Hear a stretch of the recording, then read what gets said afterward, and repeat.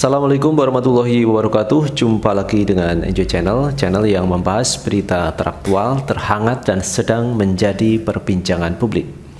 Teman-teman kali ini yang akan kita bahas masih mengenai Habib Rizik Sihab Kemarin ini sudah kita lihat bersama teman-teman Bahwa Pengadilan Negeri Jakarta Selatan ini telah memutus Terkait sidang pra-peradilan Habib Rizik Sihab Keputusan itu adalah menolak seluruh gugatan dari pihak pemohon pihak Habib Rizik Sihab.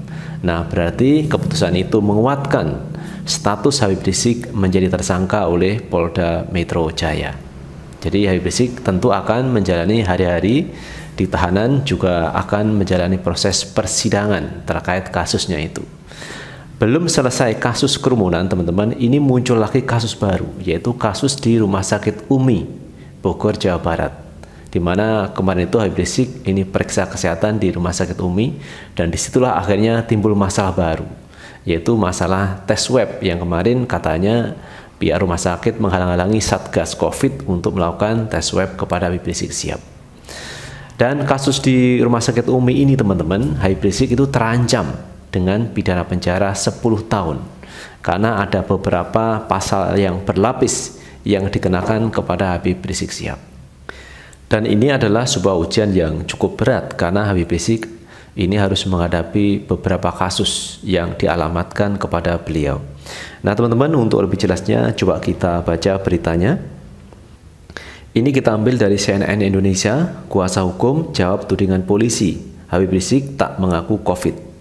Pengacara Habib Rizik siap, Asis Januar mengecam tindakan aparat kepolisian yang kembali menjerat kliennya sebagai tersangka dalam kasus swab test di Rumah Sakit UMI, Bogor, Jawa Barat yang diduga melawan hukum.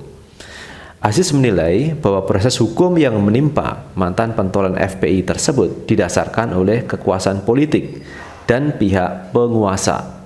Menurutnya, aparat tak bisa menjerat Habib Rizik karena tidak membagikan informasi terkait hasil swab tes dirinya karena merupakan ranah pribadi. Jadi intinya teman-teman, Uh, kalau seseorang ini kena COVID-19 sebenarnya secara pribadi ini boleh tidak mempublikasikan ke umum. Karena ini adalah ranah pribadi.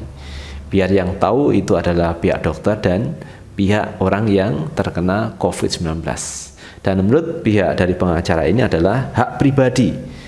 Ranah pribadi tidak harus dipublikasikan.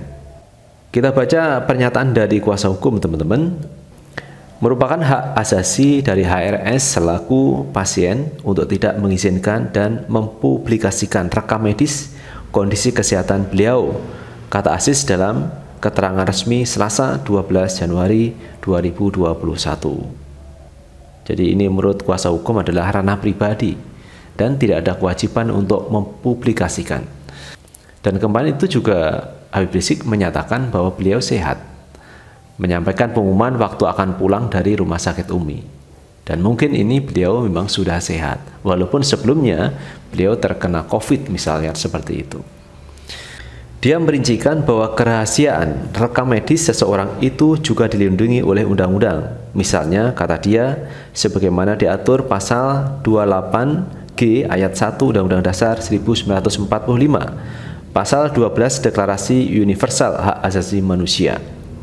Kemudian pasal 17 Covenant Internasional tentang hak-hak sipil dan politik. Pasal 17 huruf H dan I. Pasal 54 ayat 1 Undang-Undang Nomor 14 Tahun 2008 tentang keterbukaan informasi publik dan sebagainya. Nah, ini kuasa hukum juga punya pasal-pasal teman-teman terkait kerahasiaan pribadi. Jadi ranah pribadi itu tidak harus dipublikasikan ke masyarakat. Kemudian penerapan pasal 14 Undang-Undang Nomor 1 Tahun 1946 terhadap HRS dalam kasus di Rumah Sakit Umi Bogor adalah jenis merupakan upaya untuk tetap melakukan isolasi terhadap HRS dalam penjara, ucapnya. Dia menilai bahwa jeratan hukum terhadap mantan pentolan FP itu merupakan tindakan yang zalim. Sebagai informasi, saat ini Habib Rizik sedang terjerat hukum dalam tiga kasus berbeda. Dalam kasus-kasus itu, Habib Rizik menjadi tersangka. Jadi semua kasus-kasus itu, teman-teman, memang Habib Rizik posisinya sebagai tersangka. Itu yang dialamatkan kepada Habib Rizik. Pertama, Habib Rizik berperkara dalam dugaan penghasutan kerumunan acara pernikahan putrinya. Najwa Shihab di Petamburan, Jakarta Pusat pada 14 November lalu. Kemudian dia juga diduga melanggar protokol kesehatan dalam acara di Megamendung, Jawa Barat. Ini kasus yang pertama, kasus di Petamburan dan kasus di Megamendung, Jawa Barat. Intinya Habib Rizik melakukan kerumunan. Nah pertanyaannya kemarin juga diajukan oleh kuasa hukum. Yang berkerumun itu siapa? Habib Rizik atau para orang yang mendekat kepada beliau? Kenapa hanya dikenakan kepada Habib Rizik Sihab? Dan ini yang kemarin disampaikan oleh pihak kuasa hukum, teman-teman. Teranyar, dia juga dijerat tersangka dalam kasus penutupan informasi swab test dirinya di Rumah Sakit Umi Bogor, Jawa Barat. Di kasus Rumah Sakit Umi, Habib Rizik dan dua tersangka lain dijerat pasal berlapis mereka diduga melanggar pasal 14 ayat 1 dan 2 Undang-Undang nomor tahun 1984. Ketiganya juga disangkakan pasal 216 KUHP dan pasal 14 serta pasal 15 Undang-Undang nomor 1 tahun 1946. Mereka pun terancam hukuman penjara maksimal 10 tahun. Mereka pun terancam hukuman penjara maksimal 10 tahun. Wah, banyak sekali teman-teman. Jadi kasus di rumah sakit Umi kemarin itu Habib Rizik bisa dikenakan pasal yang berlapis yang hukumannya itu maksimal bisa 10 tahun penjara teman-teman. Luar biasa, kok banyak sekali ya pasal-pasal yang dialamatkan kepada Habib Rizik.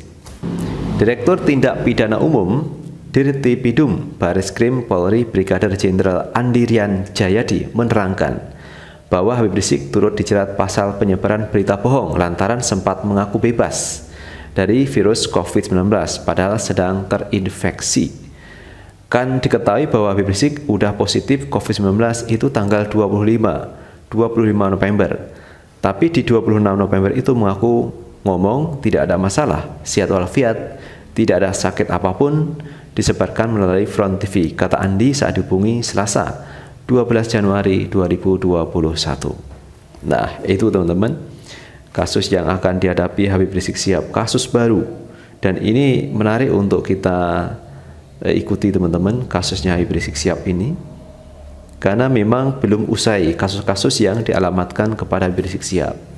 Ada kasus chat kemarin itu juga mau diangkat kembali. Kasus petamburan, Kemudian yang FPI juga begitu, ada yang 6 laskar FPI yang tewas kemarin ini juga akan diproses di pengadilan.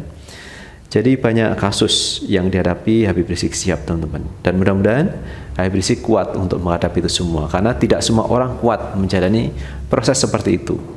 Jadi satu kasus ini belum selesai, kemudian dijerat lagi kasus yang baru. Dan ini menumpuk akhirnya teman-teman yang akan dihadapi oleh Habib Rizik siap. Dan saya pikir Habib Rizik ini tetap kuat teman-teman karena kalau kita melihat dulu juga pernah berhadapan dengan proses hukum pernah menjalani proses di meja hijau. Dulu juga pernah. Dan sekarang ini akan terulang kembali. Habib Rizik akan berhadapan di meja hijau di pengadilan Jakarta terkait kasus-kasus yang sedang beliau hadapi. Itulah teman-teman pembahasan kita kali ini terkait kasus hukum Habib Rizik Sihab yang teranyar ini adalah kasus web di Rumah Sakit Umi Bogor, Jawa Barat di mana dalam kasus itu Habib Rizik kena pasal berlapis dan hukumannya maksimal 10 tahun penjara. Nah, bagaimana menurut pendapat teman-teman? Silahkan tulis di kolom komentar karena komentar teman-teman akan sangat bermanfaat untuk yang lain. Dan terakhir jangan lupa untuk tetap like, subscribe, share, dan komen di channel ini agar kita bisa membangun channel ini menjadi lebih baik lagi. Sukses selalu. Assalamualaikum warahmatullahi wabarakatuh.